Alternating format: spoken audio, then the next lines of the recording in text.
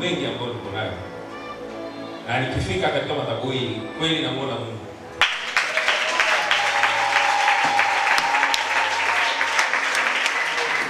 Ilianza ilianza kama kama utani. Unajua sisi Wanyakyusa tuna tuna tuna nani sana na, na Mungu. Katika kila familia ya Kinyakyusa tunaelewa katika Mungu na tunajua kwenda ibadani, lakini kuna miaka mingi sana, karibia kumi, mimi nilikuwa sishiriki ibada.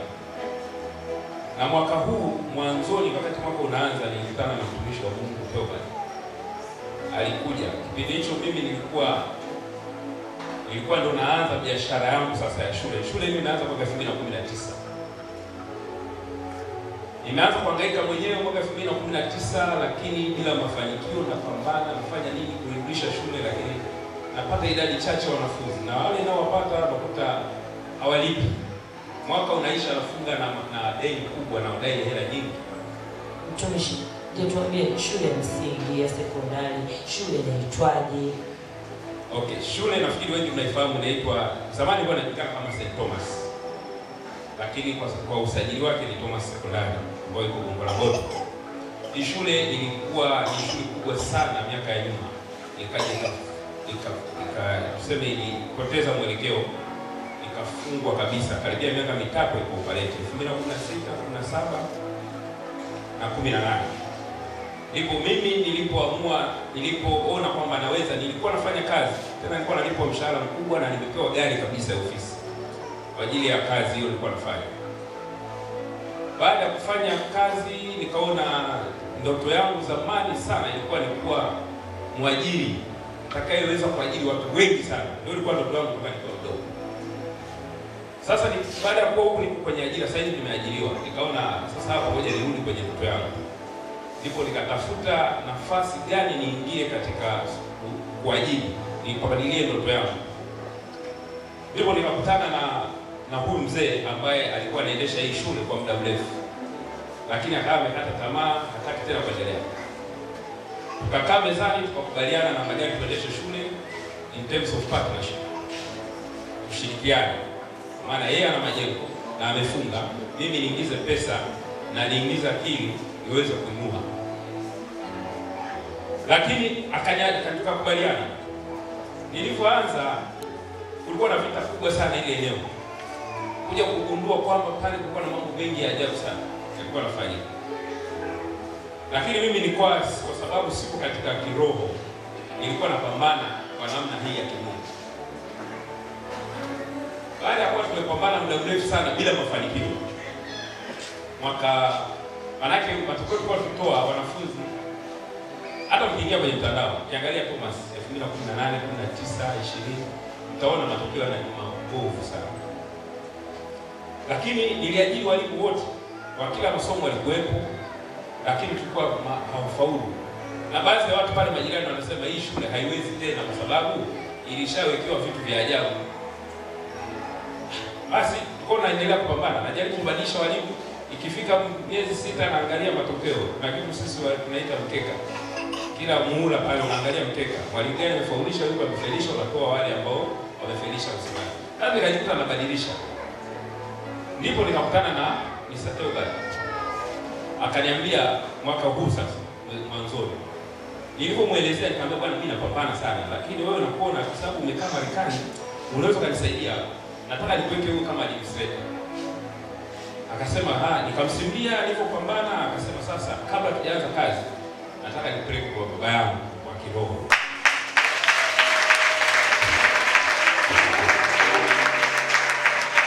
Kabla ya kuanza kazi, kabla ya kuanza kazi ya kulete wapi? kabla ya kuanza akaniambia, kwanza nilishangaa siku ile anampigia simu baba, tulikuwa niko ofisi, tuko ofisini kwangu tumejifungia, nikaona anainuka anaenda kufunga mlango, anakuja anampigia simu baba, ikaita akapiga magoti.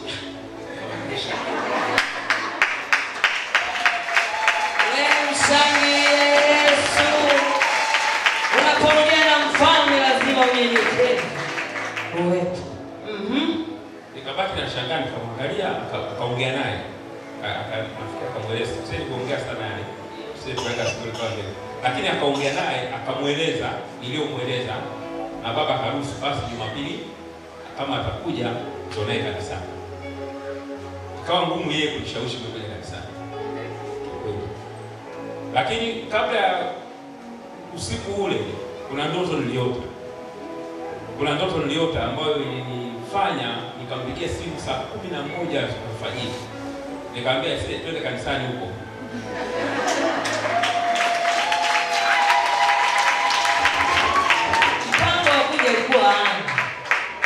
Lakini Bwana akasema tutaelewana tu. Eh, leo kampigia saa ngapi? Saa kumi na moja kumi na mbili maana nilimuuliza ibada zetu zinaanza saa ngapi, akaniambia pale sana sana baba anapanda madhabahuni kuanzia saa nne, lakini ibada kuanzia saa moja. Nikamwambia "Ah, okay, sawa. Kuna mambo ambayo nikafanya pale asubuhi, nikajitahidi, nikamwaisha, nikamchukua, tukaja naye kanisani. Tulipofika kanisani, baba akatupokea. Nafikiri wengi unakumbuka kwa siku ile mara ya kwanza naingia hapa, akatupokea na akanipokea vizuri kabisa. Basi kuanzia pale baba akasema kwamba utainuliwa.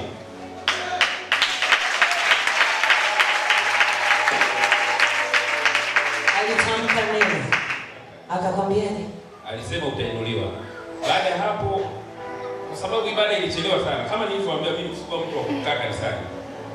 Sasa ibada imechelewa, mimi nikaona kwenye kuonekana mmoja tukaa pale, nikana mmoja, kwa sababu mimi pale nilimwajiri mtu kama mkuu wa shule, lakini kuna mambo unakaona hatukuwa hatumiti, kwa sababu mkuu wa shule ndio kila kitu kwenye shule, yaani wizara haitambui mkurugenzi wala meneja kila kitu wizara inawasiliana na mkuu wa shule. Kwa mkuu wa shule anaweza kuwa na maono tofauti na wewe mkurugenzi, shule ikawa haina maana, haiendi vile vision yako unataka. Kwa nikamuondoa. Kwa nikakaa mimi kama mkuu wa shule, nikawa kama mkurugenzi, nikawa kama meneja, nikawa kama mwasibu pale kila kitu. Lakini tume siku hiyo sasa toka ali akaniambia bwana, su- tusubiri tukamwone ofisini baba. Kaambia sawa. kapata uvumilivu nikasubiri, tukaenda kwa baba akaenda kuniambia mambo ambayo sijui sijui nisemeje, ila Mungu wa nimemwona. Amekuwa speechless. Anashindwa asemaje mzee tu amemuona. Mtumishi. Ofisini kwangu, mazingira yake na hukumu, na aliniambia kuna watu pale umewaajiri mwenyewe na ndio wanaoshikilia. Kapiga magoti akaniombea na akaniweka mafuta, akaniambia unatakiwa upate watumishi watakuja kuombea shule yako siku saba. Wakasema watafanya ibada ya uongozi kukomboa ile eneo uko tayari? Akaniuliza, nikamwambia niko tayari. Akasema usinijibu hapa, uende alafu utamjibu Teobald kama lini au watumishi waje. Kweli mimi nikaenda nikasema hamna shida, kwa sababu mimi sio mchawi. Kwa kwamba wakija labda na mimi mwenyewe atanikuta. Kwa hiyo nasema kama kuna mchawi basi muwe. Nikakubali, wakaanza kuja watumishi wa Mungu kwa ajili ya kufanya ibada siku saba. Akamba- Baba aliniambia andaa chumvi na maji, sema kila wanaposali watakuwa wananyunyizia maji na chumvi kila sehemu. Nikaandaa na kweli wakaja mtumishi Imani na mtumishi Mama wakaomba kwa siku saba, tunashirikiana nao. Walikuwa wanakuja jioni, mahali pale na watoto wageni pia wa kike, wote tunashirikiana. Watoto walikuwa wananipoka sana.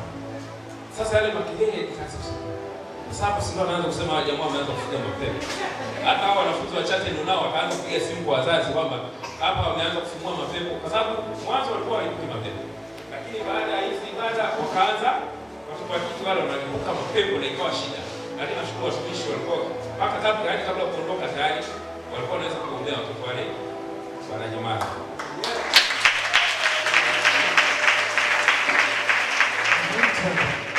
Baada ya hapo ikawa ikawa kuna vita sasa imeingia kati ya staff staff wangu, nikaja kuona ni kweli. Aliloniambia baba ni kweli. Maombi yale ya siku saba yakaisha, nikaja kwa baba nikatoa sadaka ya shukrani, akaniombea ni- na mama.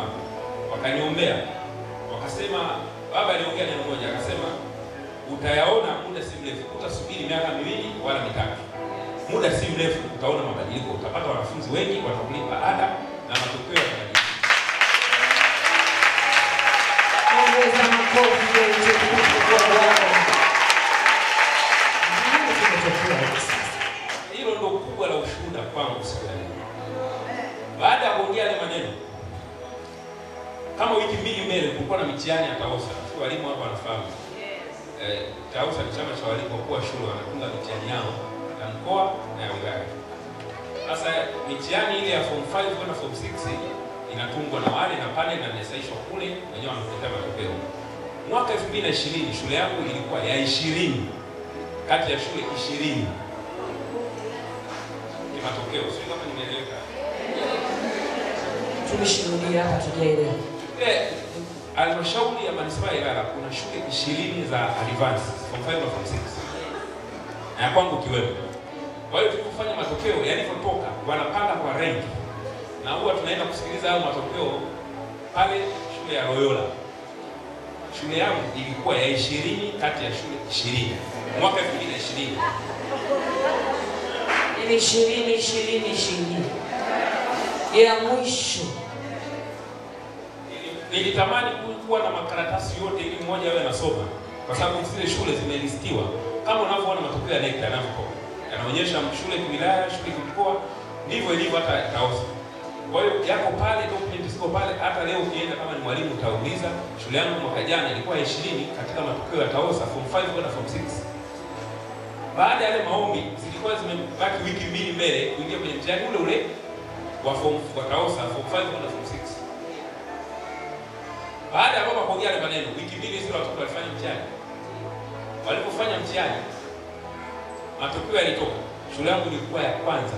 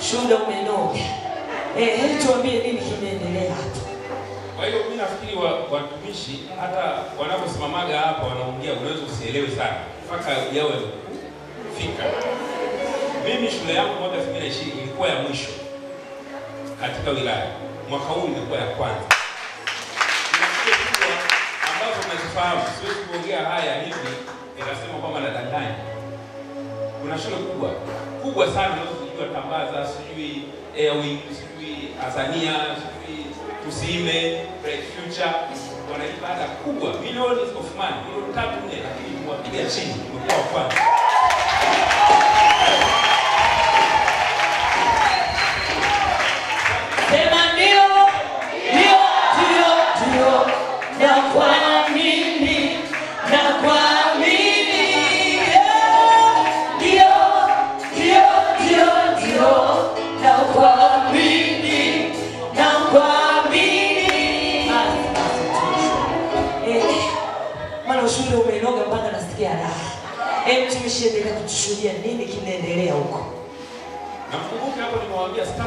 Staff ile ile ambayo ilikuwa nafasi ya ishirini na ndio nikawa nayo. Nilipunguza katika baada ya maombi, kuna watu wawili niliwaondoa baada ya kuonekana kama baba alivyotabiri, na kweli walijidhihirisha kwamba hawakuwa upande wetu. Kuna mambo ya ajabu waliyafanya, yani walifanya mchana kweupe. Baada ya hapo haikutosha mimi kunifanya niamini kwamba ni Mungu ametenda kwa kweli. Nika nikaacha hata kuja kanisani. Nikipita huko nasema shule yetu imeongoza. Mimi bwana nilikuwa najisifia. Si- si- Nilikata hapa kama mna, mna kwenye kumbukumbu wanaonifahamu. Nilikata hapa baada ya yale maombi nilikuja kama wiki mbili nikaacha. Mtumishi, sijakuelewa. Baada ya matendo ya makute na ukawa uji. Kanisani. Na sikuwahi kwa sababu usiku nakuja hapa nilitoa sadaka, baba akasema hii sadaka kutoka moyoni mwako. Unataka Mungu aonekane? Nikamwambia ndio baba. Baada ya hapo nikawa niko niko busy sana. Yaani hata Jumapili yenyewe nakuwa ofisini mambo yakawa mengi. Mwezi wa saba si kumbuka hapo wanafunzi ni wachache. Kidato cha kwanza wako sijui kumi na nane ishirini. Kidato cha pili wako ishirini, yaani wazidi kila darasa wazidi thelathini. Mwezi wa tano yale matokeo yale ya kuongoza, mwezi wa sita kumbukeni kwamba tunaanza kupokea form 5 wapi. Nimepokea wa form 5 nilikuwa napokea mpaka watu wananiuliza, wewe jamaa ulienda wapi? Form 5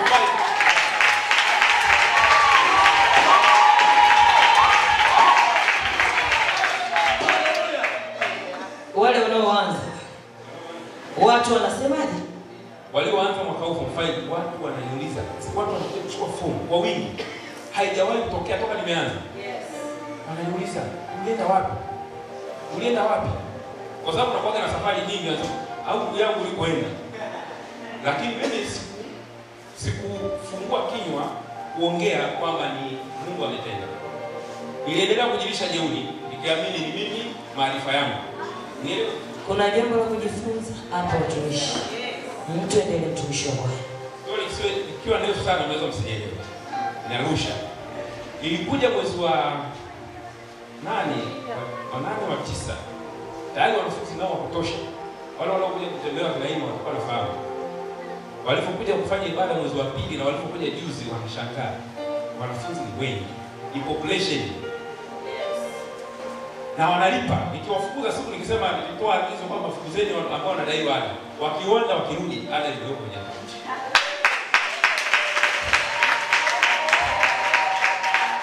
Sasa mwezi wa tisa nikakata kabisa kuja kanisani sija. Sio kwamba sijui Mungu, Mungu namjua. Mwezi wa tisa nika nika sasa shetani akanitingisha. Alinitingisha kweli kweli. Yaani kulipigwa pale ofisini kwetu. Kulipigwa. Watu tunaowategemea wote walipigwa, walikuwa na magonjwa ambayo hayaelezeki. Wakienda kupima hakuna ugonjwa wote, lakini anaumwa yuko serious. Wakati wanaendelea, nikapigwa na mimi sasa. Nilipopigwa nikakumbuka nikakumbuka ushuhuda wa mtumishi wa Mungu. Siku ya kwanza na mtumishi wa Mungu mzee wangu kuna jambo aliongea akanielezea ushuhuda wake, sijui alikuwa na nani, lakini nikakumbuka kwamba sehemu pekee kwenda kuponea ni kwa baba. Neema ya Mungu ilikuwa kubwa, ikamkumbusha watu kwa kukimbilia. Eh, Wapendwa, niliumwa sana. Sana, nili, nilikuwa nimetoka jioni moja, nimeenda kutembea sehemu sio mbali sana, lakini nilishindwa kurudi nyumbani, ikabidi bodaboda wanichukue kisha nyumbani. Ni jirani sana. Kama hapa Mpanyeleni, lakini nilibebwa kwenye bodaboda. Kurudishwa nyumbani, ndipo nikakumbuka kwamba ilikuwa ni rudi kanisani. Nilipokuja kanisani siku hiyo ilikuwa Ijumaa, nilikuwa naumwa kweli. Nilibeba familia yangu, mama mkwe wangu alikuwa nyumbani, naye nikambeba mama mkwe, mke wangu, mimi kwenye masuala, maana nishamsumbua sana, tumeama sana kanisa, mara huku mara kulema. Ilifika mtu akasema sitaki tena kukuamini, kwa akawa hataki kuangana na mimi kwenye baba, lakini siku ile nilisema tunaenda kanisani, na kwa sababu nilikuwa uko serious, wakanikubalia na akanikubalia na yeye, nikaja naye. Ilikuwa Ijumaa, siku hiyo ilikuwa ni ibada ya kuombolewa. Nilikuwa sijui, kwa nikaja tu, sio naumwa kweli kweli. hata gari sipendesha. nikamchukua shemeji yangu akapendesha. Kwa nikaja hapo wote familia nzima, mimi mtu wangu na mkwe wangu pia na shemeji yangu. Baba akaniona baada ya ibada, sikutaka kuongea chochote, ila moyoni mwangu nikasema, Mungu, najua nilichokosea, naenda kutubu. Nilikuja kwa ajili ya kutubu. Baba akaniona pale akasema namuona mkurugenzi hapa wa St. Thomas, kama unakumbuka walikuja kwenye ile ibada, akasema namuona mkurugenzi hapa St. Thomas. Alikuwa anaongelea habari ya kushindwa, magonjwa, siku ile aliongea kama kila kitu ananigusa mimi, na hata kwa mkuu wangu siku tunatoka akashuhudia, akasema huyu baba kama amepona. Aliongea yote anayonihusu mimi. Baada ya pale baba akasema namuona mkurugenzi wa St. Thomas, akanitabiria vitu sana akasema kuanzia leo, manake yeye mwenyewe kusema namuona mkurugenzi wa St. Thomas, na maana hakuniona muda mrefu, ni miezi kama mitatu minne, niliacha kabisa kuja kanisani. Akanitabiria mambo mengi sana, kusema utaenda kuwa na shule nyingi, utapata wanafunzi, utafungua shule nyingi, akaongea ndio ilikuwa ni shauri yangu ya muda mrefu. Nawambia nikiwa mdogo nilikuwa na ndoto ya kuwa mwajiri mkuu, yaani kama leo unavyosema Bakhresa ameajiri watu wengi, nataka mimi ndo niwe kwa alikuwa nitabiria, nikasema okay, mbona anachukua ndoto zangu? Nikapiga magoti pale, nikaomba toba sana siku ile. Inawezekana hakuna mtu anaweza akafahamu, lakini kama leo tutarudisha kamera hizi nyuma, ile tukio utaona. Nilipiga magoti, niliomba sana toba na nilimshukuru sana Mungu na nikasema, Mungu, naomba unisamehe. Nilipotoka hapa nilikuwa mzima. Shangilie Mungu wa rehema, shangilie Mungu wa msamaha. Ukirudi yeye anakurejeza. Yeye mtumishi, na niliweza kuendesha mpaka narudi nyumbani. Wanasema utaweza kweli? Mke akaniuliza unaweza kutatuendesha? Ah, ah, shemeji endesha bwana. Ikabidi nikarudi nyumbani salama, niko mzima kabisa, najiona natembea, nina nguvu. Nikamshukuru Mungu. Kuanzia pale nikasema sasa sitakosa tena ibada ya mtumishi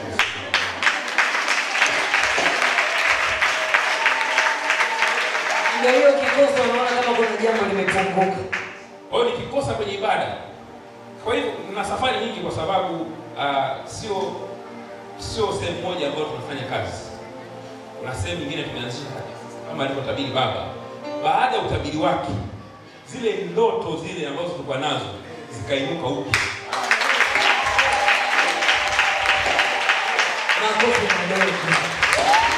Baada ya kinywa cha Masihi wa Bwana kutabiri, vikafufuka vyote. Kabla ya yote, kabla ya haya, nilikuwa tunatamani pale kuanzisha shule ya msingi na sekondari, kwa sababu madarasa ni mengi, nasema tugawe tuweke zote, lakini ilikuwa ni ngumu. Wakija pale wakaguzi, nafikiri nawafahamu wakaguzi wale wa shule, hapa hatuwezi kuwapa, hamwezi kukaunganisha sijui, yaani mambo yakawa mengi, wanatukatisha tamaa. Kwa hiyo tukaona hapa hatuwezi, acha tukomane na sekondari. Lakini baada ya siku ile baba alivyonitabiria kwamba yanaenda kufunguka, nawaambieni jamani, wamekuja wenyewe, wanakaa na mimi mezani,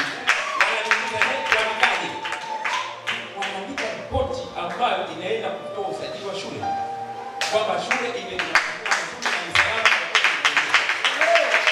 Kitu kigumu sana kwa mkaguzi kukomenti kitu kilicho kizuri kama hicho. Baba amesema ni maagiza na wakati wa kukaa na watu wakuu, afu wao wanasema wewe unatakaje? Eh? na walikuwa wakija pale wanazunguka wanashanga wale wale walikuwa wanakuja zamani wanatukania kwamba mazingira hayafai hayafai lakini walipokuwa wanakuja baada ya ile kauli ya baba walipokuwa akija pale kila kitu wanashangaa mbona majengo mazuri mbona madarasa mazuri wanasikia na nini mbona vyo vipo vya kutosha eneo ni kubwa Nuru ya Bwana imezuka na utukufu wa Bwana umeonekana. Kulikuwa na giza, nuru ilikuwa inaingia. Ilipoingia nuru, wanashangaa, walikuwa waombi. Yes. Eh? Wangu ni mrefu japo ni mwaka mmoja. Yaani yote anawasilia ndani ya mwaka mmoja lakini ni, ni mrefu sana. Baada ya nina sasa hivi hapa ninapoongea na nyinyi nina taarifa au ripoti ya mhandisi wa wilaya.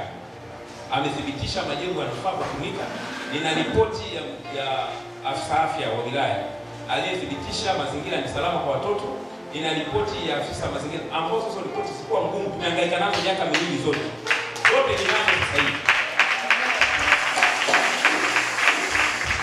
Ina ripoti ya wadhibiti ubora ambao ndio wale wakaguzi ambao wale wamesimama kwa niaba ya kamishna kuhusu kwamba sasa shule hii iko salama kwa ajili ya usajili.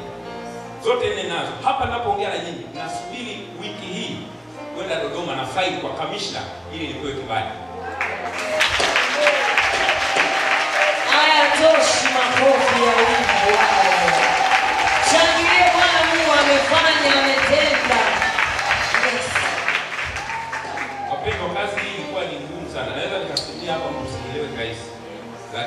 naomba Mungu akupe uwezo au ile imani ambayo baba anatuombea kila siku ya kuelewa kwa ndani ninachoongea na kumaanisha na Mungu wa Uswege ulimuona. Na wewe natamani pia, kwa sababu tulikuwa tunadharaulika sana. Unajua, baada ya kumuondoa kwenye nafasi aliyekuwa mkuu, kuna vita iliinuka kwamba huku ana mimi professional wangu ni msibu na nimesomea utawala wa biashara na fedha, lakini nimeweza kusimama kama mkuu wa shule na nili- niliwahi kuitwa kwenye kikao kwenda kujieleza kwa nini nasimama kama mkuu wakati sina professional walimu. Ilikuwa ni kesi, kipindi kile ndio maombi yanafanyika, lakini ile kesi ilipotea kusikilikana mpaka leo.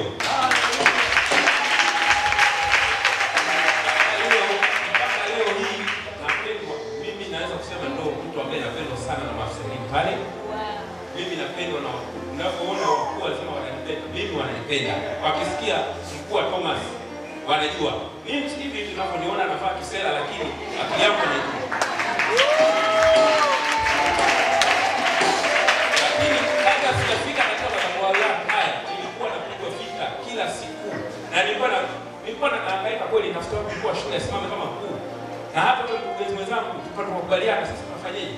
Naambia sasa, tatizo ukiweka mtu ambaye hana vision ya kwenda kwa ndio shule inakufa. Kwa hiyo mpaka leo nimeweza kusimama kwa sababu naona Mungu anajizea kwa kila jambo, na hata vita ilipoinuka hiyo mwezi wa tisa ikanifanya nikarudi tena. Ilikuwa ni vita kubwa jamani, hamwezi mkaelewa, labda wawelezi watu wa pale usini. Vita ilikuwa kubwa, kila mtu anakuja. Kuna kuna mtu mmoja alienda kwenye kanisa lake huko, akaenda akaenda kuambiwa, akasema wewe ulikuwa unakufa ili mwajiri wako, kwa na ni kweli anakutegemea sana wewe, mwajiri wako kwa sababu anakutegemea apate machungu sana, alafu naye atakufuata. Aliambiwa hivyo, na ukiangalia ni mtu aliumwa kiasi kwamba mimi mwenyewe nilichanganyikiwa. Nimepeleka hospitali, amelazwa, anatumikiwa dripu, dripu moja inaisha ndani ya dakika kumi na tano, lakini wamepima vyote, hakuna anachoumwa. Bwana alitaka urudi. Bwana ni Muislamu, nikamlazimisha, nikamwambia njoo kanisani, nikaja naye, tulikaa naye pale Nafikiri siku ile baba hakuwepo, alikuwepo mtumishi wa Mungu mmoja, nilimpenda sana siku ile alinipa. Nilipofika hapa nikakuta yule kweli huyu ataweza kumvuvisha huyu kama baba alivyonivuvisha. Nikawa na mashaka, lakini bahati nzuri alitoa neno mmoja ambalo mpaka leo waga nakitumia. Alisema vita ilikuwa ina upande wake. Alikuwa ni daktari wa mifugo nafikiri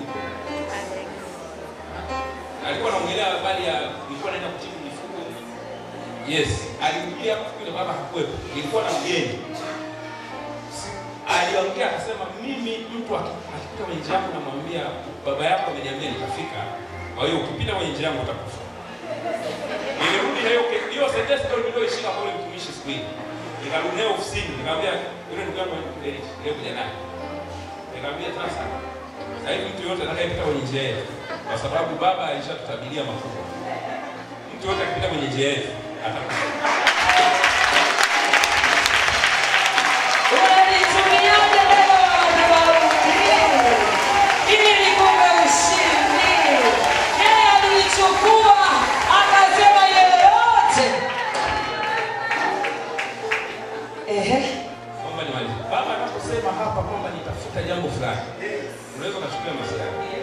nini toka nimeanza kuna swala la maabara, sababu mimi shule yangu na sayansi kuanzia form 1 mpaka form 6. Vifaa vya maabara ni gharama sana, vimekuwa nikihangaika navyo sana. Ikikaribia mitihani, lazima uandae vifaa vyote viwepo. Chupa moja tu ya chemical unaweza kukuta inauzwa laki moja na nusu na zinakuta zinahitajika chupa kumi, sijui vitu gani. Yaani unaweza kukuta budget tu ya maabara inagharimu milioni kumi, kumi na tano, ishirini. Miaka yote nilikuwa nikihangaika sana maabara mpaka nakuja kufanikisha ni dakika za mwisho tena kwa mateso. Lakini mwaka huu Kumbuka kufua kesho anaingia kwenye mtihani ya taifa na inakuwa umeandaa vifaa vyote vimewekwa. Mwaka huu karibia wiki mbili nyuma, baada ya yale maombi ya, mfungo, wageni wamekuwa akauki Wana- wanakuja pale, sisi masambazaji wa vifaa vya maabara tunasambaza kwa mkopo na tulipa Januari.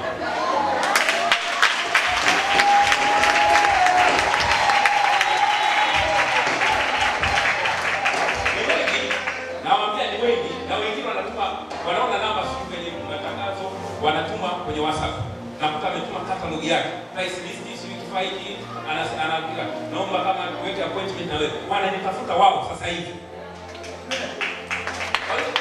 Hata ile shida iliyokuwa naipata ya kulalamika na vifaa, naenda kukopa mkopo kwa yaani unachukua mkopo kwenye microfinance sababu unachukua milioni kumi. Januari, sababu wanajua Januari ndio tunavuna, wanakwambia mpaka Januari mrudishie milioni kumi na saba. Yaani karibia asilimia sabini na unafanya sababu ni lazima viwepo pale.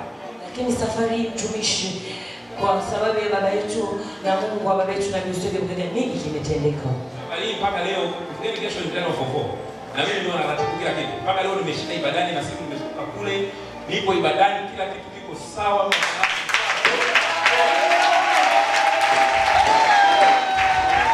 miracle promise keeper right in the darkness I got everything you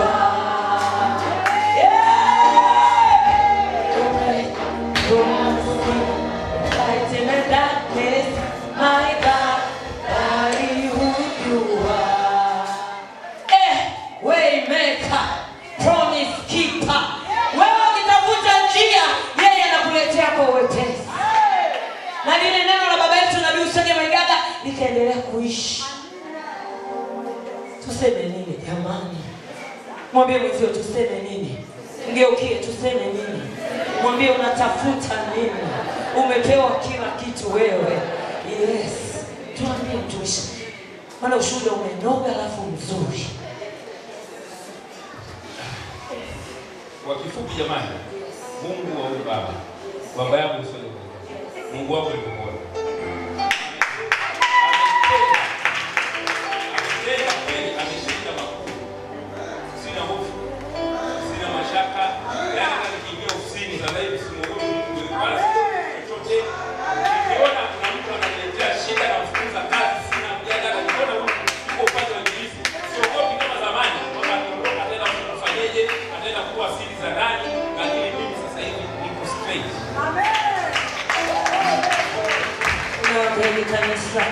kwa matendo makubwa na ya ajabu ambayo Mungu wa baba yetu na Yesu amekutendea.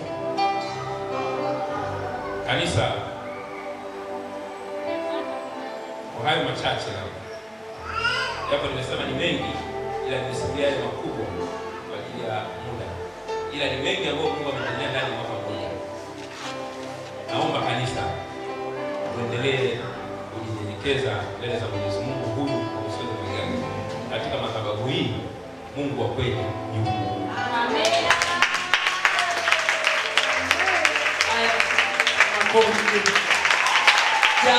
Tena Bwana. Asante mtumishi kwa na ndio maana hata anaposema kwamba kwenye kutoa unabarikiwa, katika hii pia nina ushuhuda, kwa sababu unaweza ukasema kwamba miujiza inaweza ukaja bila kutoa. Si, si kweli. Hata ukisoma kwenye vifungu vya Biblia, mifano mingi tunaonyeshwa kwenye kutoa watu walikatiliwa. Kuna siku hapa kulikuwa na mchango ulikuwa wa chakula hiyo. ile siku nilimwahidi tu mtumishi pale, nikamwambia mimi nitakuwa kilo hamsini za mchele. Baada ya kuondoka asubuhi na mapema, nikapigiwa simu. Kuna kuna Kiswahili sanifu dili, kwa Kiingereza ni dili hivyo hivyo. Kuna deal moja tulikuwa tunaisikiliza muda mrefu sana, zilikuwa na vikwazo vingi, lakini siku ile tukapigiwa simu twende kwa ajili ya kwenda kukamilisha ambalo kweli tulienda tukafanikisha baada ya ile ibada ya siku ile kubarikiwa. Baada ya kutoa nilipata mara ishirini.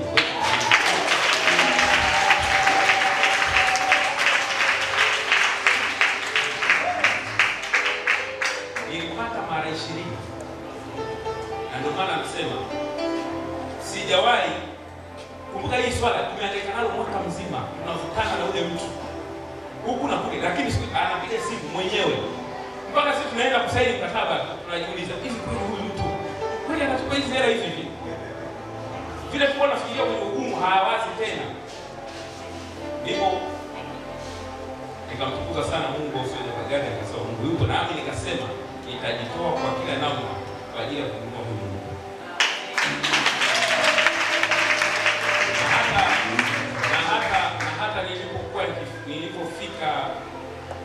katika hizi ibada nilikuwa namsikia Mungu Eliza akiimba.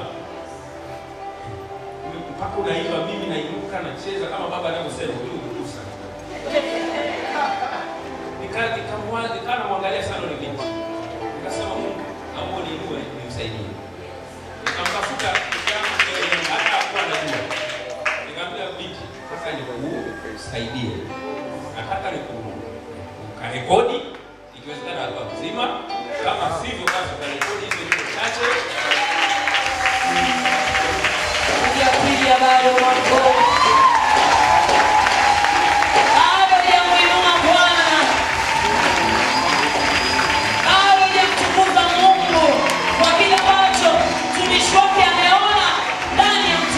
wake Elisa. Akasema hapana, nataka nifanye jambo kwa ajili ya binti wangu. Ndio mtumishi. Na nafikiri hizo utaratibu tumeshakamilisha na tunaeleza mtumishi mali tushawapeleka ni wata- wanaenda kwa kuuliza pale, tabaki tu wao kupanga ratiba lini waka wakaanza kukodi. lakini mimi na producer tushamalizana, nimemlipa, tabaki wao kupanga ratiba. Hii yote ni kwamba ninapotoa katika madhabahu hii wiki yangu hii ninaona vitu vingi sana ambavyo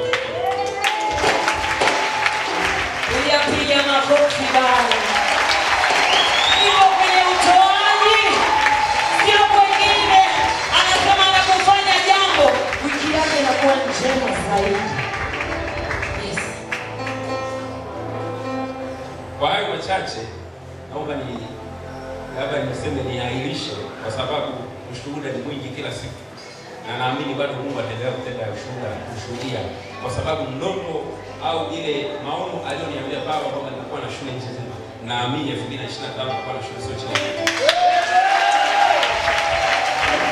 Ndiye Bwana wa Bwana. Asante kwa ushuhuda mzuri na kwa akubariki.